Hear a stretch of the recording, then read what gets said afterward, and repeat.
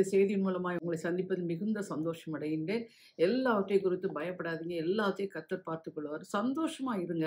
ஆனால் வேதம் என்ன சொல்லுதுன்னா மகிழ்ச்சியாக இருப்பதே உங்களுக்கு பலன். இன்னைக்கு அநேகர் பலகீனம் பலன் இல்லை பலன் ஆனால் ஆண்டவர் என்ன சொல்கிறாரு மகிழ்ச்சியாக இருங்கன்னு சொல்கிறார் மகிழ்ச்சியாக இருங்க. கத்தர் உங்களை ஆசிரியப்பா இன்றைக்கு நம் செய்தியின் தலைப்பு உன்னை நிரம்ப பண்ணுவேன். இறைமையா ஐம்பத்தி ஒன்றாம் அதிகாரம் பதினான்காம் வசனம். மெய்யாகவே பச்சை கிளிகளைப் போல திரளான மனுஷரால் உன்னை நிரம்ப பண்ணுவேன். அவர்கள் உன்மேல் ஆரவாரம் பண்ணுவார்கள் என்று சேலியின் கர்த்தர் தம்முடைய ஜீவனை கொண்டு ஆணையிட்டார். இந்த வசனத்தை சொல்றப்போ மெய்யாகவே ஷாலி அப்படின்னு அர்த்தம். பச்சை கிளியைப் போல அப்படின்னா ஆசீர்வாதங்களின் தன்மையை குறிக்கின்றது. திரளான மனுஷரால் அப்படின்னா மந்தையை போல மனுஷரால் நிரம்பி இருத்தல். அவர்கள் என்று சொல்லும்போது தேவ ஜனங்கள் உண்மையில் ஆரவாரம் பண்ணுவார்கள். தேவன் உன்னோடு ஆர்ப்பரித்து தேவனை உன்னோடு ஆர்ப்பரித்து தொழுது கொள்ளுவார்கள். சேனைகளின் கத்தர் என்று சொல்லுவோம் சேராபின் சேராபி தேவதூர்கள் இருபத்தி நாலு முப்பது நட்சத்திரங்கள் அக்னி ரதங்கள் அக்னி குதிரைகள் எல்லா எல்லாவற்றையும் கொண்டவர் தான் நம் கத்தர் சேனைகளின் கத்தர் இதை சொன்னார் என்று சொல்லுவோம். அதனால தான் நான் எப்பவுமே சொல்லுவேன் ஜனங்கிட்ட சொல்லும்போது கூட நம்ம கூட சேனைகளின் கத்தர் கூட இருக்கிறார். அதனால் எதை குறித்து பயப்படக்கூடாது. அதனால தான் வேதம் சொல்கிறது சங்கீதக்காரர் சொல்லும்போது சேனைகளின் கர்த்தர் நம்மோடு கூட இருக்கிறார். யாக்கோபின் தேவன் நமக்கு உயர்ந்த அடைக்கலாம். நான் ஒரு நாள் நான் தனியாக இருக்கிறேனோ எனக்கு யாரும் உதவி செய்யலைனோ என்னை யாரும் விசாரிக்கலைனோ அப்படிலாம் பயப்படாது ஆண்டவர் டைரக்ட் டீலிங் கரெக்ட் இருந்து நம்மளை நடத்துவார். என் பாதைகள்லாம் நிறைய பாடுகளை நான் சந்திச்சுவேன். கடைசியில் ஒரு முடிவுக்கு வந்தேன். கர்த்தர் தவிர நம்மளால் யார் நம்மளை யாரும் வழி நடத்தக்கூடாது. அந்த முடிவை கொண்டு வந்துடுவார் சுவாமி. ஏன்னா வெரி வெரி பொசசிவ் காட் அவருடைய அன்பு வந்து மிகவும் விலையேறப்பட்டது. ஏன்னா மற்றவங்கெல்லாம் வந்து சார் அவங்களுக்கு அந்த மகிமை போயிடும் அதனால கர்த்தருக்கு மாத்திரம்தான் மகிமை பண்ணணும் அவரை மட்டும் நூற்றுக்கு நூறு அவரை மட்டும் நம்ம நம்பி நின்னோம்னா நமக்கு எது தேவையோ என்ன செய்யணுமோ எந்த வேலை எல்லா சகலத்தையும் அதினதின் காலத்தில் நேர்த்தியாக செய்து முடிப்பார். அவருடைய பலத்தினார் அதனால சந்தோஷமா இருங்க. என்று சொல்லப்பட்டிருக்கு இந்த செய்தியின் மூலம் எவ்வாறு திரளான மனுஷரால் நிரம்ப பண்ணுவார் என்றும் திரளான ஆசீர்வாதத்திலும் ஆஸ்தி ஐஸ்வர்யத்திலும் நிரம்ப பண்ணுவார் என்றும் திரளான மீட்பு அல்லது விடுதலையால் நிரம்ப பண்ணுவார் என்றும் நாம் பார்க்க போகின்றோம். திரளான மனுஷரால் நிரம்ப பண்ணுவார் திரளான ஆஸ்தி ஐஸ்வர்யத்தில் நிரம்ப பண்ணுவார் திரளான மீட்பு அல்லது திரளான விடுதலையால் நிரம்ப பண்ணுவார். முதல்ல நான் பார்க்கும்போது திரளான மனுஷரால் நிரம்ப பண்ணுவார். ரெண்டு நாளாகவும் பதினைந்தாம் அதிகாரம் ஒன்பதாம் வசனத்தில் அவனுடைய தேவனாகிய கர்த்தர் அவனோடு இருக்கிறதை கண்டு இஸ்ரவேல் இருந்த திரளான ஜனங்கள் அவன் பட்சத்தில் சேர்ந்தார்கள். முதலாவது பக்கம் இந்த அதிகாரத்தில் தேவனுடைய ஆவி ஒனேசியின் குமாரன் அசரியாவின் மேல் இறங்கினதனால் இரண்டாவது அவன் வெளியே ஆசாவுக்கு எதிர்கொண்டு போய் அவனை நோக்கி ஆசவே யூதா ஜெம் வெனமின் கோத்திரங்களில் சகல மனுஷரை கேளுங்கள். நீங்கள் கத்தரோடு இருந்தால் அவர் உங்களுக்கு வெளிப்படுவார். அவரை விட்டு விடுவீர்களே ஆகில் அவர் உங்களை விட்டு விடுவார். சகல மனுஷர்களே கேளுங்கள் அப்படின்னு. தங்கள் க நீங்கள் கத்தரோடு வேதம் சொல்லி தாவிதோடு கத்தர் கூட இருந்தார். முதலாவது நம்ம கூட ஆண்டவர் இருக்கிறார் அப்படின்னு முதல்ல நீங்க உணரணும். நீங்க பார்க்கணும். என் கூட இருக்கிறார். இப்போ யோசிப்பு வந்து பாவம் செய்யறதுக்கு அங்கே யாருமே இல்லை. ராஜாவுடைய மனைவி வந்து அவள் பாவம் செய்ய கூப்பிடும்போது அவள் யாருமே இல்லை. ஆனால் அவன் என்ன சொல்றாரு? எப்படி கத்தருக்கு விரோதமாய் பாவம் செய்வது? அதான் கூட இருக்கிறான்னு உணர்ந்து நடக்கிற காரியம். வீட்டில் கூட சண்டை போடும்போது கத்தர் கூட இருக்கிறார். நீங்கள் அவிசுவாசப்படும்போது சந்தேகப்படும்போது நீங்கள் கூட இருக்கிறாருங்கிறத விசுவாசிக்கணும். அப்படியே உலகத்தார போல பேசுறது நான் வாழ்வதை விட சாவது நல்லது நான் எனக்கு ஒன்றுமே விளங்காது இவன் உருப்பட மாட்டான் இந்த மாதிரி உலகத்தார போல் நான் உங்களுக்கு ஒன்று சொல்கிறேன் வாயின் வார்த்தைகளில் ஒவ்வொரு விதை.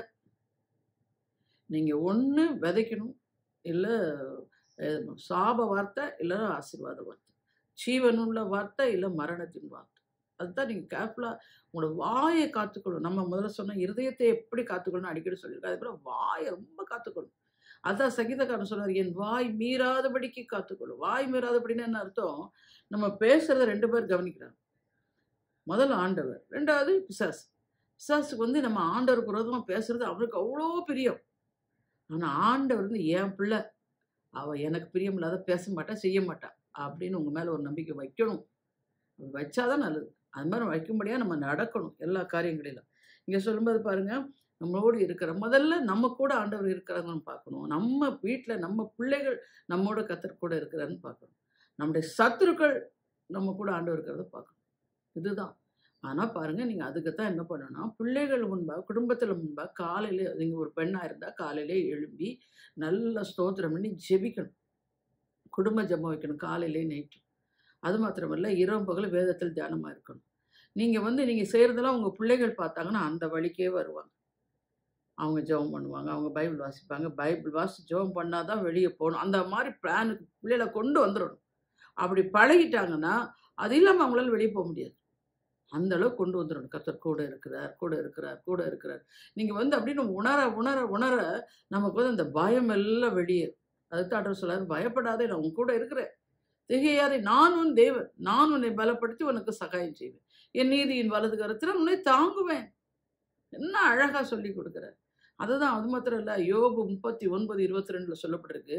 பயப்படுதலை அலட்சியம் பண்ணு. இக்னோர் த ஃபியர் அலட்சியம் பண்ணிடணும் பயத்தை. எப்பவுமே என் கூட யார் இருக்கா? சேனைகளின் கத்தர் என் கூட இருக்கிறார். அவர் எல்லாம் பார்த்துக்கொள்வார்? அப்படின்னு நீங்கள் கொண்டு போகும்போது பாருங்கள் அதைத்தான் அது வசனம் சொல்லி சகல மனுஷர்களை கேளுங்கள். நீங்கள் கத்தரோடு இருந்தால் அவர் உங்களோடு இருப்பார். நீங்கள் அவரை தேடினா உங்களுக்கு தென்படுவார் நீ கத்துற முதல்ல இதில் இந்த திரளான மனுஷன் நிறவப்படும் முதலாவது நம்ம ஆண்டவரை தேடணும். கத்தரை தேடுகிறவர்களுக்கு ஒரு நன்மையும் குறைபடும். இன்னைக்கு ஏன் நன்மைகள்லாம் குறைபட்டு கிடக்குன்னு? கத்தரை தேடுறதுல குறை. அதிகாலை ஜபம்னா கஷ்டம். வேதம் வாசிக்கிறது கஷ்டம். அப்புறம் ஃபாஸ்டிங் எடுக்கிறது சுத்தமாக முடியாது. அப்புறம் ச சண்டே சர்வீஸுக்கு லாஸ்ட்டில் போய் அமீன் போடுறது. கடமை. இதெல்லாம் இல்லை. உலக உலக வழிபாடெலாம் வேண்டாம். நம்ம ஆண்டவருடைய பிள்ளை. ஆண்டவர். இப்போ நம்ம ஒருத்தவங்களை ரொம்ப நமக்கு பிடிக்குதுன்னா எவ்வளோ நேரம் அவங்களோட ஃபோனில் பேசுவீங்க? பேசிக்கிட்டே இருப்பீங்க. வைக்க- அவன் அவனை வைக்கவே முடியாது. அதே மாதிரி தான் தேவனோடு பேச கற்றுக்கணும் தேவனோட பேச கற்றுக்கொண்டது யார் தெரியுமா? தாவீது. தாவிது பாருங்க தன் ஆத்மாவை கத்தரோடு பேச வந்து டியூன் பண்ணி வச்சிட்டாரு. என் ஆத்மாவே நீ ஏன் கலங்குகிற அவர் சொல்லுவார் நாலாம் சங்கீதத்தில் இன்னைக்கு அநேகர் வந்து எனக்கு ராத்திரி தூக்கம் வரல அப்படின்னு சொல்கிறீங்க ஃபோன் பண்ணும்போதெல்லாம் சொல்கிறீங்க எனக்கு நைட் தூக்கம் வர மாட்டேங்குது சிஸ்டர். ஆனால் அதுக்கு அந்த சங்கீத நாலாம் அதிகாரத்தில் போய் படிங்க. அதில் சொல்லுவார் நான் நான் படுக்கையிலே நான் அவரோடு பேசிக்கொண்டே இருந்தேன். உங்கள் பிரச்சனையை பற்றி கவலைப்படுறதெல்லாம் நிறுத்திட்டு உங்கள் பிரச்சனையை குறித்து ஆண்டோட்டை கொண்டு போய் கொடுத்துட்டு கத்தர் செய்த நன்மைகளாக நினச்சி அவரோட பேச ஆரம்பிச்சிட்டிங்கன்னா ஆட்டோமேட்டிக்காக சமாதானமாக அவன் சொல்கிற மாதிரி நான் சமாதானத்தோடய படுத்துக்கொண்டு நித்திரை செய்வேன் கர்த்தர் ஒருவரே என்னை சுகமாய் தங்க பண்ணுவார். அதை நீங்கள் செய்யணும். கூட இருக்கிறார் ஒவ்வொரு நாள் உணர்ந்து நடங்க. எல்லாவற்றிலும் பாருங்கள் அந்த அந்த கத்தர் கூட இருக்கிறாருங்கிறத நம்ம உணர்ந்து நடக்கும்போது நமக்கு வந்து அந்த பயம் எல்லாம் அகன்று போகும். அதுக்கு தான் அவன் கதை அவன் சொல்லும்போது சங்கீதக்காரர் சொல்லுவார் கத்தரை தேடினே அவர் என்னுடைய எல்லா பயத்துக்கும் நீங்களாக்கி ரட்சித்தார். சங்கீதம் முப்பத்தி நாலில் சொல்லுவார். அந்த கத்தரை தேடின உடனே பயம் பயம் அகன்று போகும். அது பிறகு கிருப ம- கிறிஸ்மஸ் செய்தி கேட்டுக்கோ நம்ம. அந்த மரியாள்கிட்ட வந்து பயப்படாத நீ தேவனிடத்தில் கிருபை பெற்றாய். இப்போ தேவனிடத்தில் கிருபை பெற்றோம்னா நமக்கு பயம் அகன்று போகும். தேவனிடத்தில் கிருபை பெற்றுக்கொள்ளும் ஒவ்வொரு நாளும் கேளுங்க. நான் சமாதானமாக இருக்கு. கிருபை சந்தோஷமாக இருக்கு. கிருபை சுகத்தோடு இருக்கு. கத்தருக்கு பயந்து நடக்கும் அப்படிப்பட்ட கிருபை தாங்கன்னு கேளுங்க. அதான் செய்வார். ஏழாம் வசனம் சொல்றாரு நீங்களோ உங்கள் கைகளை நெகிழ விடாமல் திடன் கொள்ளுங்கள். உங்கள் கிரியைகளுக்கு பலன் உண்டு. உங்களை பார்த்து ஆண்டவர் சொல்றாரு இன்னைக்கு. நீங்களோ உங்களை பார்த்து தான் உங்கள் கைகளை நெகிழ விடாமல் திடன் கொள்ளுங்கள். உங்கள் கிரியைகளுக்கு பலன் உண்டு. இன்றைக்கு சொல்றாரு உங்க கிரியைக்கு பலன் உண்டுமா? கத்தர் நிச்சயமா உங்களுக்கு உதவி ஆசா கத்தரோடு இருந்தார். கத்தரும் அவரோடு இருந்தார். கத்தரை தேடினார். அவர் அவர்கள் அவனுக்கு தெ- வெளிப்பட்டார். எட்டாம் வசனம் அவன் திடன் கொண்டு அருவருப்புகளை அகற்றி கத்தருடைய பலிபீடத்தை புதுப்பித்தார். இப்படியாக ஆசா செய்யும் பொழுது திரளான ஜனங்கள் கத்தர் அவரோடு இருக்கிறார் என்று சொல்லி அவன் பட்சத்தில் சேர்ந்தார் ஒவ்வொரு நாளிலும் நம்ம வந்து சில காரியங்கள் நம்முடைய பலிபடத்தில் செப்பனிடும். கத்தருக்கு பிரியமில்லாத காட்சிகள் பிரியமில்லாத பேச்சு பிரியமில்லாத இது. இப்போல்லாம் செல்லுலலாம் பார்த்தீங்கன்னா ஒரு அப்படி ஒரு தொண்ணை உடனே தட்டினோம்னா அவ்வளோ அசிங்கமாக காட்சிகள் நிறைய வரும். ஸோ இதெல்லாம் நம்ம பார்க்காதபடி கத்தர் நம்மளை காத்துக்கொள்ளும். எல்லா சூழ்நிலைகளிலும் கத்தர் இருக்கிறார். இப்படி ஆசா செய்யும் பொழுது அதில் பாருங்கள் தங்கள் முழு மனதோடும் கத்தரை தேடினார். கத்தர் அவர்களுக்கு வெளிப்பட்டு சுற்றுப்புறத்தாரால் யுத்தம் இல்லாதபடிக்கு அவர்களை இழைப்பார பண்ணி நீங்களும் கத்தரை தேடினீங்கன்னா ஆண்டவர் உங்களுக்கு சுத்தப்பட்டு சுற்றுப்புறத்தாரால் யுத்தம் இல்லாதபடிக்கு இழைப்பார பண்ணுவார். எல்லா காரியம் என் வாழ்க்கையிலலாம் நிறைய பிரச்சனைகள் வரும்போதெல்லாம் ஆண்டவர்கிட்ட சொல்லி ஒப்படைச்சிட்டு பேசாமல் இருப்பேன். ஆண்டவர் பாருங்கள் அந்த காரியங்களில் அவரை யுத்தம் பண்ணி அமைதியாக எனக்கு ஜெயம் கொடுத்துருவார். அதுக்கு தான் செய்யணும். அப்போ ஆண்டவரை தேடணும். இன்று நீங்களும் இவ்வாறு செய்யும் பொழுது ஆசாவிற்கு செய்த அதே கத்துடைய ஆவியானவர் உங்களுக்கும் யுத்தம் இல்லாதபடிக்கு இளைப்பார பண்ணுவார். இரண்டாவது பக்கமும் திரளான ஆஸ்தி ஐஸ்வர்யத்தினால் உன்னை நிரம்ப பண்ணுவேன். ஆதியாகும் பதிமூன்றாம் அதிகாரம் ரெண்டு ஆறு. ஆபிரகாம் மிருக ஜீவன்களும் வெள்ளுடையவும் பொன்னுடையவும் ஆஸ்திகளை உடையவனாய் இருந்தான். அவர்கள் ஒருமித்து குடியிருக்க அந்த பூமி அவர்களை தாங்கக்கூடாது இருந்தது ஆறாம் வசனத்துல அவருடைய ஆஸ்தி மிகுதியாக இருந்தபடியால் அவர்கள் ஒருமித்து வாசம் பண்ண ஏதும் இல்லாமற் போயிற்று. இப்படிப்பட்ட திரளான ஆஸ்தி ஐஸ்வர்யங்களை எப்படி பெற்றுக்கொண்டார் நம்ம ஆபிரகாமின் ஆசீர்வாதம் வேணும்னு கேட்குறோம் ஆபிரகாம் எப்படி ஆசீர்வதிக்கப்பட்டார்? ஆபிரகாம் பாருங்க எல்லா காரியத்திலும் ஆண்டவருக்கு நன்றி பலி செலுத்துவர். இங்க பாருங்க ஆபரகம் ஒரு பலிபீடத்தை கட்டி அங்கே ஆபரகம் கத்துடைய நாமத்தை தொழுது கொள்வார். அதுதான். எந்த சூழ்நிலைகளும் நான் உங்களுக்கு ஒரு ஆலோசனையா சொல்றேன். எந்த சூழ்நிலையும் நன்றி பலியும் ஸ்தோத்திர பலியும் உங்கள் வாயில் இருந்துக்கிட்டே இருக்கு. எல்லா காரியத்திலும். நன்றி எசப்பா இதை செய்தீங்க உங்களுக்கு நன்றி. என்னை காத்து கொடுறீங்க எனக்கு ச கொடுத்தீங்க உண்ண உணவு கொடுத்துருக்கிறீங்க இருக்க இடம் கொடுத்துருக்கிறீங்க எல்லா காரியங்களையும் நீர் என்னை பார்த்துக்கொள்கிறீங்க பாதுகாக்கிறீங்க இரவும் பகலும் தூங்காது உறங்காம காத்துக்கொள்றீங்க நன்றி இசப்பா எல்லாம் நம்முடைய கேட்டது எல்லா ஜபத்திற்கும் நீர் எங்களுக்கு பதில் கொடுக்குறீங்க. உமக்கு ஸ்தோத்திரம் இசப்பா இந்த இந்த வேண்டுதல் கூட உம்முடைய பார்வைக்கு அற்ப காரியம். இதையும் நடத்தி தந்துடுவீங்க உமக்கு ஸ்தோத்திரம் இசப்பா அந்த ஸ்தோத்திர பலியும் நன்றி பலியும் நீங்கள் சேர்த்துக்கிட்டே இருந்தீங்கன்னா உங்களால் ஆத்திரமா ஆத்திரம் அடைய முடியாது. அடுத்தது பார்த்தீங்கன்னா பயத்துக்குள்ளேயும் போக மாட்டீங்க. தைரியம் அடைவீங்க. அதில் எல்லா காரியத்திலும் கர்த்தர் கூட இருந்து அவர் பார்த்து கொள்ளுவார் அப்படின்னு சொல்லி நீங்கள் தைரியம் அடைவீங்க. அது மாத்திரம் இல்லை உங்களை பா கத்தர் கொடுத்த எல்லா நன்றி செலுத்தி தரப்போகிற எல்லா நன்மை கிருபைகளுக்காகவும் ஸ்தோத்திரம் செய்யுங்கள் என்று சங்கீதக்காரன் சொல்கிறார். ச கத்தரை எக்காலத்து ஸ்தோத்தரிப்பேன். அவர் துதி எப்போது என் வாயில் இருக்கும் சங்கீதம் முப்பத்தி நாலு ஒன்றை சொல்கிறாரு கத்தரை எப்பொழுதும் எனக்கு முன்ன வைத்திருக்கிற அவர் என் வலதுபாசி இருக்கிறவுடன் அசைக்கப்படும் சங்கீதம் பதினாறு எட்டில் சொல்கிறாரு ஒரு விசை என் பரிசுத்தத்தின் பேரில் ஆணையிட்டேன் தாவீதுக்கு நான் பொய் சொல்லேன் சங்கீதம் எண்பத்தொம்பது முப்பத்தஞ்சு. என்ன அருமையாண்டவர் பேசுகிறார் பாருங்க தாவீதோட. அதுக்கப்புறம் அந்த என் உடன்படிக்கையை மீறாமலும் என் உதடுகள் விளம்பினதை மாற்றாமலும் இருப்பேன். சங்கீதம் எண்பத்தொன்பது நாற்பத்தி நாலு. நமக்கு கூட கத்தர் வாக்கு தத்துவம் கொடுத்துருவார். அதை விசுவாசிப்போம். சூழ்நிலைகள் எல்லாம் வேற மாதிரி வந்துச்சுன்னா நமக்கு செகண்ட் ஒப்பீனியன் ஆண்டவர்கிட்ட கேட்போம். ஆண்டவரே இது சரியில்லை மாதிரி தெரியுது இது வேற மாதிரின்னா நீங்க உடனே ஆண்டவருக்கு ஆலோசனை சொல்லுவீங்க. இந்த மாதிரி நீங்க கொடுத்துட்டீங்கன்னா நல்லா இருக்குமே சப்பா அப்படியா இல்லை. ஒரு முறை உனக்கு கத்தர் வாக்கு தத்துவம் கொடுத்துட்டாருன்னா ஒரு விசை சொல்லதை பார்த்து இரண்டாம் விசை பார்த்து திருத்துகிற அல்ல தேவன்.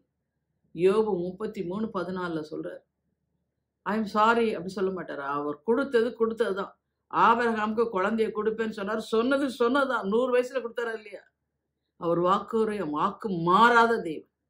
அப்ப பாருங்க சூழ்நிலைகள் மாறும் காலங்கள் மாறும். ராஜாக்களை தள்ளி ராஜாக்களை ஏற்படுத்துவார். ஆனா கர்த்தரோ மாறாதவர். ஆனால் ஒரு நாள் அவர் கொடுத்த வாக்கு தத்தத்தை நீங்க சந்தேகப்படாதீங்க அவிசுவாசப்படாதீங்க. கால தாமதமல் நிச்சயமாய் நிறைவேற்றுவார். குறித்த காலத்துக்கு தரிசனம் வைக்கப்பட்டிருக்கிறது. அது பொய் சொல்லாது. அது தாமதித்தால் அது காத்துரு அது நிச்சயமாய் வரும் அப்படின்னு முடிப்பார். உண்மையில தான் அது கத்த நிச்சயமா செய்து முடிக்க வல்லவர். யாக்கோபுக்கு அதே மாதிரி பாருங்க ஆஸ்தியும் ஐஸ்வர்யம் இறம்ப பண்ணின தேவநாய் கத்தர் ஆதியா முப்பத்தி ரெண்டாம் அதிகாரம் முப்பத்தி மூ ஐந்தாம் வசனம் முப்பத்தி மூணாம் அதிகாரம் பதினொன்றாம் வசனத்துல ஆசை ஐஸ்வர்வங்களை அவன் எப்படி பெற்றுக்கொண்டான் என்று பார்க்கும்போது ஆதியம் இருபத்தெட்டு இருபத்தி ரெண்டுல சொல்லுவார் தேவன் எனக்கு தரும் எல்லாவற்றிலும் உமக்கு தசம் பாகம் செலுத்துவேன் என்று சொல்லி பொருத்தனை பண்ணி கொண்டான் இதுதான். அந்த தசம பாகம் காணிக்கைங்கிறது கட்டாயம் செலுத்தியே ஆகணுங்க. இன்றைக்கி பாருங்கள் எவ்வளவோ டாக்டர் செலவு பண்ணுறீங்க எவ்வளோ தேவையில்லாத காரியங்களுக்கெல்லாம் செலவு பண்ணுறீங்க ஏன் அதெல்லாம் வா- வேதனை இல்லாத வாழ்க்கை இல்லை. அது வேதனை இல்லாத ஆசீர்வாதம். வேதனையுடன் ஆசீர்வாதம். வேதனை இல்லாத வாழ்க்கை வேணும் அப்படின்னா நான் உங்களுக்கு சொன்னேன் அவர் கரத்தில் வாங்கி அவர்கிட்ட கொடுக்கணும். பத்தில் ஒன்று கொடுக்கறதுக்கு ஏன் கஷ்டம்? கொடுக்கணும். நான் எதுக்கு சொல்கிறேன்னா முதல்ல வந்து அவன் கல்யாண மகம் ஒரு பேச்சுலராக இருப்பாங்க. அவருக்கு ஒரு இருபதாயிரம் ரூபாய் சம்பளம். அப்புறம் வந்து அவர் கல்யாணம் ஆகும். அப்போ அவன் வந்து ஆண்டவர் வந்து சரி இவன் தனியாக இருந்தால் இப்போ ஆண்டவர் உங்களுக்கு சம்பளத்தை கூட்டுவார். அப்போ வந்து நம்ம எப்படி தெரியப்படுத்து இப்போ இருபதாயிரம் இருந்துச்சு இப்போ இருபத்தஞ்சி முப்பதுக்கு போயிடுச்சு. அப்போ இப்போ ம், ரெண்டாயிரம் ரூபாய் செலுத்தின இடத்துல இப்போ வந்து எவ்வளோ செலவு? மூவாயிரம் ரூபாய் செலுத்தணும். அப்படி நீங்கள் செலுத்த செலுத்த ஆண்டவரும் உங்களை வந்து கூட்டிக்கிட்டே போவார். இதோடைய ரகசியத்தை யாக்கவும் தெரிஞ்சுக்கிட்டார். அதே மாதிரி தான் நீங்கள் நான் என்னுடைய வாழ்க்கையிலலாம் நான் ஆசீர்வதிக்கப்பட்ட காரணமே மெயினாக தசம்பாக காணிக்கும். அது எங்கள் அம்மாவுக்கு சி எங்கள் அம்மா சின்ன பிள்ளைகளே இருந்து எங்களை வளர்த்துட்டாங்க. தசம் பாகம் செலுத்தியே ஆகணும். அதுலேருந்து ஒரு எந்த சூழ்நிலை வந்தாலும் சரி எங்கள் அம்மா அந்த காணிக்க காசை கையில் எடுக்க எடுத்து எடுத்து தான் எடுத்து வச்சதான் சொல்லிடுவாங்க. அது மாதிரி பழகணும் அதே மாதிரி பாருங்கள் முதற்கனிங்கிறது கத்தோடையது.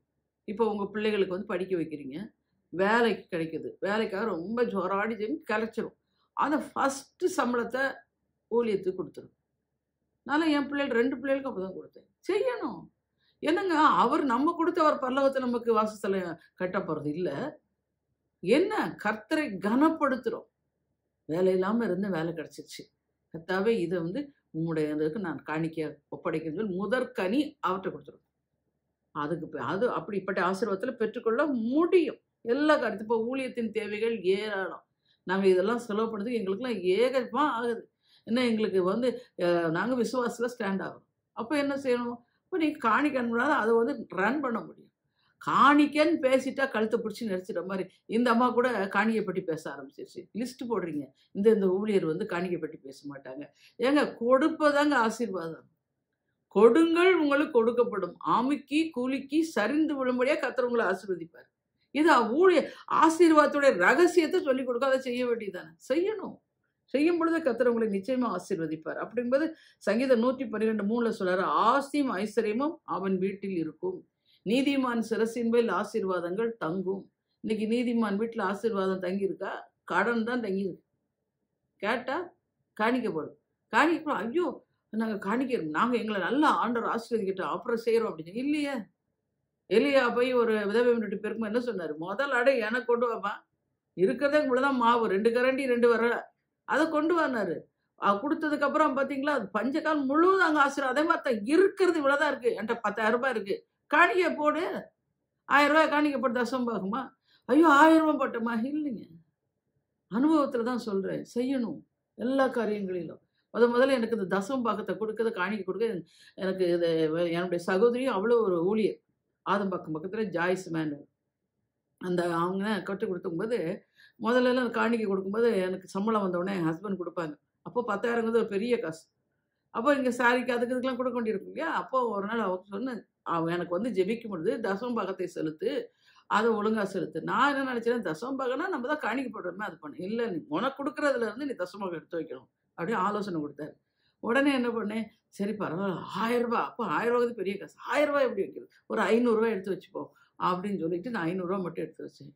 அவள் திருக்கு தரிசி அவங்க வந்து ஜெபிக்கும் போது எனக்கு சொல்கிறாங்க காணிக்கை வந்து மூடு இதயத்தோட செலுத்து பாதியாக எடுத்து வச்சிட்டு இருக்கிற நீ அப்படின்னு. அந்த வெளிப்பாடு வரும்போது பாருங்க அந்த மாதிரி சொல்கிறாரு அப்புறம் பார்த்தோன்னா அந்த தசம் பகத்தை நான் செலுத்த ஆரம்பித்த உடனே என் பிள்ளைகளுக்கு இருந்த சிக்னஸ் எல்லா பில்லும் ஸ்டாப் டாக்டர்கிட்ட போகிறது மெடிக்கல் போகிறது அங்கே போகிறது எல்லாத்தையும் கத்த நிறுத்தி போட்டார். என் அனுபவ சாட்சியாக சொல்கிறேன் அதுக்கப்புறம் எனக்கு பிரமிப்பான ஆச்சரியம் ஓ இது எப்படி இவ்வளோ இதோட ரகசியம் இதுதானா? கொடுக்கறதுனால அவ்வளோ பெரிய ஆசீர்வாதம். நீங்கள் அதை கொடுத்து பாருங்க. ஆபரகம் நன்றி பலி செலுத்தி ஆசிரத்தை பெற்றுக்கொண்டார் இவர் வந்து பாருங்க காணிக்க முத பா தசம் பார்த்து செலுத்தி ஆசிரத்தை பெற்றுக்கொண்டார் மூன்றாவது நான் பார்க்கும்போது பார்த்தீங்கன்னா திரளான மீட்பு அல்லது விடுதலையால் உன்னை நிரம்பப்படுவேன். சங்கீதம் நூற்றி முப்பது ஏழில் சொல்றார். அப்போஸ்தலுடைய கைகளினாலே அநேக அடையாளங்களும் அற்புதங்களும் ஜனங்களுக்குள்ளே செய்யப்பட்டது. எல்லாரும் ஒருமனப்பட்டு அஹ், மண்டபத்தில் இருந்தார்கள். அப்போஸ்தல் ஐந்தாம் அதிகாரம் பன்னிரெண்டாம் வசனம். அதைத்தான் முந்தின அதிகாரத்தில் அப்போசல் நான்கு முப்பது முப்பதுலேருந்து முப்பத்தி ரெண்டு வரைக்கும் உம்முடைய பரிசுத்த பிள்ளைகள் இஸ்ரவேல் நாமத்தினாலே அடையாளங்களும் அற்புதங்களும் நடக்கும்படி செய்து பிணியாளர்களை குணமாக்கும்படி உம்முடைய கரத்தை நீட்டி உம்முடைய ஊழியக்கமுடைய வசனத்தை முழு தைரியத்தோட சொல்லும்படி அவர்களுக்கு அனுக்கிரகம் செய்திருக்கணும் இது என் ஊழியத்தின அனுபவத்தில் நான் சொல்லுவேன். ஊழிய எழும்புன புதுசில் பார்த்தீங்கன்னா ரொம்ப எதிர்ப்புகள். அப்படி நீ பெண் திருக்கதரிசி எழும்பலாமா அப்படி பண்ணலாமா இப்படி அப்படின்னு ரொம்ப போராடுறாங்க எனக்கு ஒன்றுமே புரியல. எழுமின புதுசு எல்போடு ஊழியம். அப்போ ஆண்டவர்கிட்ட போய் என்ன ஆண்டு ஆண்டவரே இந்த ஊழியத்தை செய்யவே முடியாது போல் இருக்க. தைரியமாக செய்ய முடியாது. பயமாக இருக்குதே அப்படின்னு. அப்போ தான் இந்த வசனத்தை கொடுத்தார். கரத்தின் உங்களுடைய ஊழியக்காரனுடைய வசனத்தை முழு தைரியத்தோடு சொல்லும்படி அவர்களுக்கு அணுக்கம் சொல்லு. இது அப்போ நாளும் போது தினந்தோறும் சொல்லி சொல்லி சொல்லி ஸ்தோத்திரம் பண்ண ஆரம்பிச்சேன் அதுக்கப்புறம் இந்த போராட்டத்துலேருந்து நான் விடுதலை பெற்றேன் நம்ம ஊழ கத்திற்காக எழும்பும் பொழுது ரொம்ப பாடுகளை ஃபஸ்ட்டு அப்படியே இது பண்ண மாதிரி இருக்கும். அப்போ டிஜிஎஸ் அங்கிள்கிட்ட போய் நான் ஜெபிக்கும்போது சொன்னேன் அங்கிள் இந்த நம்ம வயிற்று வலிக்குன்னு ஜெபம் பண்ணால் நம்மளை வந்து தாக்கிடுது என்ன பிரச்சனைக்கு ஜெபிச்சாலும் அந்த பிரச்சனையை தாக்குதுன்னு. அப்போ தான் அங்கிள் ஒரு இது சொன்னாங்க. இப்போ சிங்கத்தில் போய் இப்போ தாவீது வந்து சிங்கத்தை வந்து ஆடுகளை வந்து சிங்கத்தின் வாயிலேருந்து மீட்டு எடுத்துட்டு வந்தான். எப்படி? அவன் எப்படி அந்த சிங்கத்திலேருந்து அந்த ஆடு போய் மாட்டிக்கொள்ளும்போது எடுக்கும்போது அந்த சிங்கம் ரெண்டு தட்டு தட்டும் இல்லை அதே மாதிரி தான் நம்மளும் சில பிர பிரவீனங்களை உணர்வோம். அதை பற்றி நீ பயப்படாதுன்னு. அவ்வளோ பயத்துலலாம் சொல்லும்போது ஒரு இப்போ வந்து நமக்கு வருஷங்கள் கணக்காகி ஆகிப்போச்சு இப்போ நம்ம தைரியமாக நிற்கிறோம் எதற்கு சொல்லணும் வசனத்தை பிடிச்சிக்கிட்டிங்கன்னா உங்களுக்கு தைரியம் வந்துடும் அற்புத அடையாளங்களை கத்தர் தம்முடைய வசனத்தை நிரூபித்து காட்டுவார். அவர்கள் ஜெபம் பண்ணின போது அவர்கள் கூடியிருந்த இடம் அசைந்தது. அவர்கள் எல்லாரும் பரிசுத்த ஆவியானவனால் நிரப்பப்பட்டு தேவ வசனத்தை தைரியமாய் சொன்னார்கள். அபிஷேகத்தை பெற்றுக்கொள்ளணும். அபிஷேகத்தை பெற்றுக்கொண்டு அண்ணல் மூட்டணும். அபிஷேகத்துல நிரப்பப்படணும். எவ்வளவு நாம் அபிஷேகம் பெற்றிருக்கேன்னு சொல்லி சும்மா அந்த ஏர்லி ஸ்டேஜில் இருக்கு. தொத்த தொத்த தொத்த அந்த அந்நிய பாஷையில் பேசிட்டு இருப்பாங்க சில பேர்லாம். அது பிறகு சொல்லுவாங்க. ஒரு ஆண்டி எனக்கு தெரிஞ்சவங்க. அவங்க அடிக்கடி சொல்லுவாங்க ஆண்டி எம்மா எனக்கு இன்னும் அழைப்பே வரலன்னுவாங்க. நான் சொல்லுவேன் அபிஷேகம் பெற்றுக்கொண்டாலும் அழைப்பகம் நீங்கள் போய் தான் ஆண் ஆத்துமாக்களை தேடி போய் ஊழியம் செய்யணும் ஆண்டினும் இல்லையே எனக்கு ஊழிய அழைப்பே வரலையான்னுவாங்க. அப்படி நான் சொன்னேன் ஒரு அழைப்பு வரும் அப்போ அதுக்கு பண்ண அந்த நேரத்தில் கரெக்டாக இருப்பீங்க அப்படின்னு. உண்மையிலே இப்படி சொல்லி சொல்லி கடைசியில் அவங்களுக்கு மரண அழைப்பு தான் வந்துச்சு போயிட்டாங்க. நேரத்தை வேஸ்ட் பண்ணிக்கிட்டு அபிஷேகத்தை பெற்றுக்கொண்டு நான் ஊழியம் செய்ய வாஞ்சியாக இருக்கிறேன் எனக்கு அழைப்பு வரல அப்படியெல்லாம் சொல்லாதீங்க. ரெண்டு பேருக்கு போய் இயேசுவை பற்றி சொன்னீங்கனாலும் அது ஊழியம். நற்செ ஒரு ஊழியம்னா என்ன? சுவிசேஷன் நற்செய்தியை அறிவிப்பது.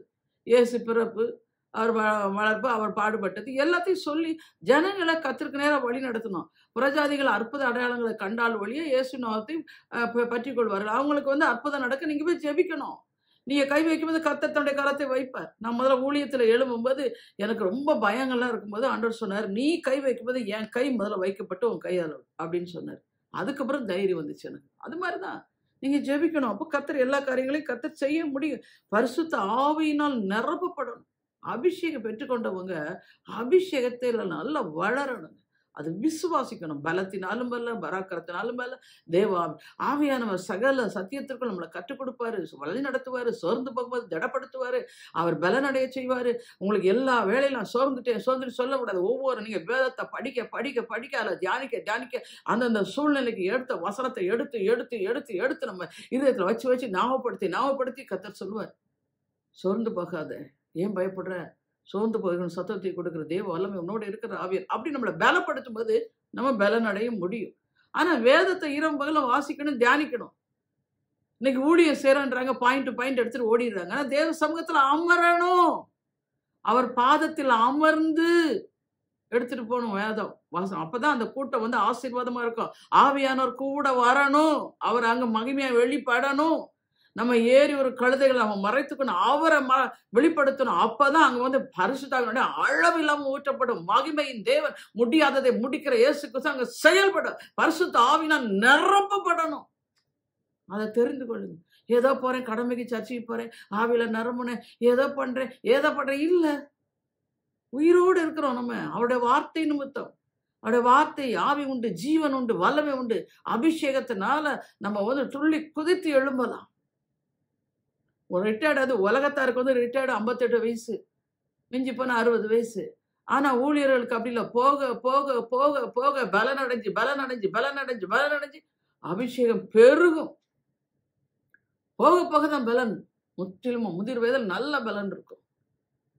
ஐயோ எனக்கு வயசாயிடுச்சு இல்லை. அந்த வார்த்தையெல்லாம் விட்டுறணும். அவன் நமக்கு வயசுக்கு ஏற்ற பலன் உண்டு என்று வச- வசனத்துல சொல்லப்பட்டிருக்கு. முதிர் வயதிலும் கனிதந்து பசுமையும் புஷ்டியும் இருப்பாய். வசனம் பிடிக்கணும். எல்லா காரியங்களிலும். ஒவ்வொரு நாளிலும் நீ என் பலனாகிய கர்த்தாவை உண்மையில் அம்பு கூறுவே. என் பலகீனத்தின் பலன் பூரணமாய் விளங்கும். என் கிருபை உமக்கு போதும். சொல்லுங்க. என்னை பலப்படுத்த கிறிஸ்துவினால் எல்லாவற்றையும் செய்ய எனக்கு பலன் உண்டு. சொல்லுங்க. நீங்க வசனத்தை வச்சு வச்சு வச்சு ஜெபிக்கும் போது உங்க ஆவி ஆத்து சத்தல் பலன் பெறுவீர்கள். கால்கள் மால்களின் கால்களைப் போல உயர் ஸ்தலத்தில் ஏறி இருக்க பண்ணுகிற தேவனுக்கு ஸ்தோத்திரம் சொல்லணும். பலகீனத்தை குறித்து மேன்மை பாராட்டிட்டு கூடாது.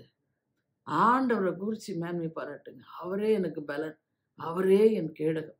அவரே என் கோட்டை. அவரே என் அடைக்கலாம். அப்படி சொல்லி போகும்போது எல்லா காரியம் அதுவும் அபிஷேகத்தை பெற்றுக்கொண்டவங்க சாதாரணமாக இருக்க முடியாதுங்க. பரிசுத்தாவின் இருக்க விட மாட்டார். நமக்குள்ள அந்த அனல் மூட்டி மூட்டி எழுப்பி டேட்டா போட்டு அங்கே ஓடு இங்கே ஓடு நமக்கு டைமே இருக்காது. சொல்லவும் முடியாது. ஒரு நாள் அப்படி தான் நான் கேட்டேன். எனக்கு ரொம்ப கொஞ்சம் ரெஸ்ட்டு வேணும் ஏசப்பா அப்படின்னு. அப்படியா? ரெஸ்ட் வேணுமா? அப்படின்னு. ஆமாம் சரி டேக் அப் அப்படின்னு. எனக்கு புரியவே இல்லை ஃபஸ்ட்டு எடுத்துக்கொள்ள போட்டு அப்புறம் தான் ஆகிய ஏசப்பா நான் அதுக்கு சொல்லலைன்னு. நோ ரிட்டைர்மெண்ட் ஏர்லி ஸ்டேஜில் இதெல்லாம். போக போக நம்ம கூட அவர் பேச அவர் அவர் நம்ம கூட பேச நம்ம அவரோட பேச எல்லாத்துக்கும் நமக்கு ஆலோசனை கொடுத்து நம்மளை வழி நடத்துவார். அங்கே போய் நம்ம நின்னோம்னா ஜனங்கள் நம்மளை பார்த்து ஆச்சரியப்பட்டு அப்~ அப்படியே துள்ளி குதிப்பாங்க. அற்புதம். எவ்வளோ பெரிய வல்லமையில் தேவன் கூட இருக்கிறார் என்பதை அந்த இடத்துல ஸ்டேஜில் கத்த நிரூபித்து காட்டுவார். பூமி எங்கும் செய்யப்படாத அதிசயங்களை உன் மூலமாக செய்வேன். உன்னோடு கூட இருக்கிற ஜனங்கள் கத்துடைய செய்கைகளை காண்பார்கள். நான் உன்னோடு கூட இருந்து செய்யும் காரியம் பயங்கரமாக இருக்கும். அங்கே இயேசு கிறிஸ்துவின் மகிமையின் தேவன் அங்கே இறங்குவார். வல்லமை உடையவர் மகிமையானதை எனக்கு செய்தார். அதுதான் பாருங்க வேற சொல்றது இயேசுவின் நாமத்திலும் அடையாளங்களும் அற்புதம் நடக்கும்படி செய்து பிணி யானைகளை குணமாக்கும்படி உம்முடைய கரத்தை நீட்டி உம்முடைய ஊழியக்காரர் உம்முடைய வசனத்தை முழு தைரியத்தோடு சொல்லும்படி அவர்களுக்கு அனுகிரகம் செய்தருளும். இதுதான். இன்றைக்கு நான் பார்த்த முதலாவது கத்தரை தேடும் முழு இதயத்தோடு தேடும்போது அவர் உங்களுக்கு வெளிப்பட்டு திரளான மனுஷனால் உங்களை நிரம்பி யுத்தம் இல்லாதபடி பாதுகாப்பார். இரண்டாவது தசம்பகம் பொருத்தன காணிகளை செலுத்தி தொழுது கொள்ளும்போது திரளான ஆசையும் ஐஸ்வரம் இல்லாமல் உங்களை நிரம்ப பண்ணுவார். மூன்றாவது ஒருமனப்பட்டு ஒரே இடத்தில் கூடி பரிசுத்தாவில் நிரப்பப்பட்டு ஜெபிக்கும் பொழுது ஆவியான அசைவடை அற்புத அடையாளங்களோடு இயேசுவின் நாமத்தினால் திரளான மீட்பினால் உங்களை நிரம்ப பண்ணுவார். நாம் ஜெபிப்போமா? எங்களை மிகுதியாய் நேசிக்கிற அன்புள்ள ரட்சகர் இம்மட்டுமா நம்முடைய பிள்ளைகளோடு நீர் பேசினீர் ஆண்டவரே.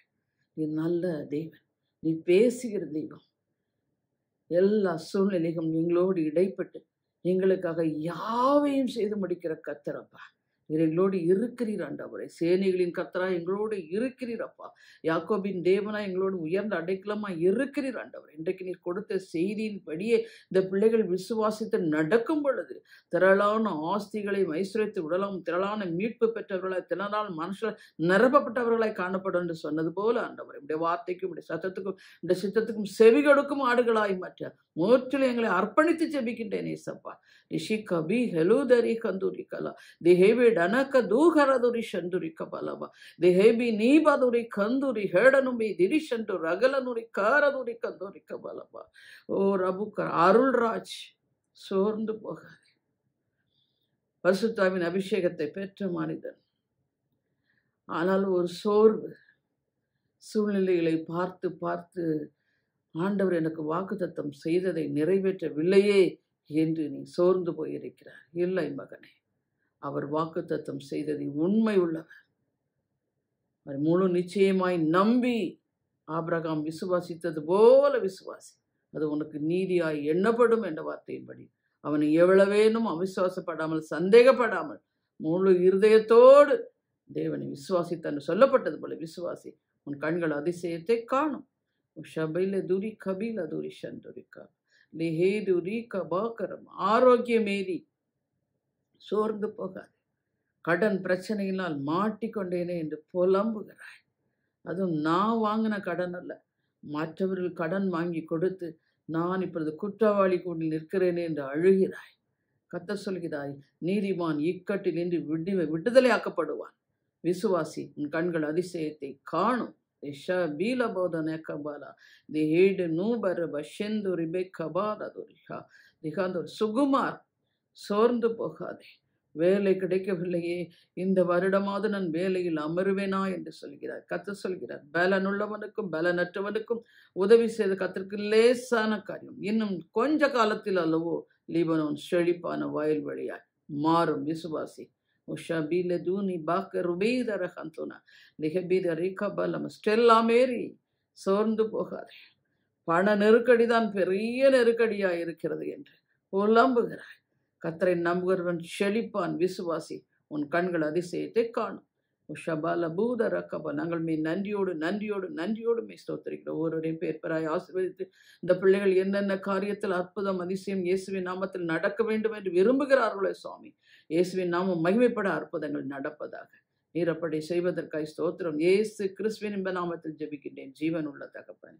ஆமே ஆமே தேவ பிள்ளைகளை இந்த செய்தி உங்களோடு பேசி இருக்கும் என்று கத்திற்குள் நம்புகிறேன் கத்தர் தாமே உங்களை ஆசிர்வதிப்பாராக. ஆமே ஆமே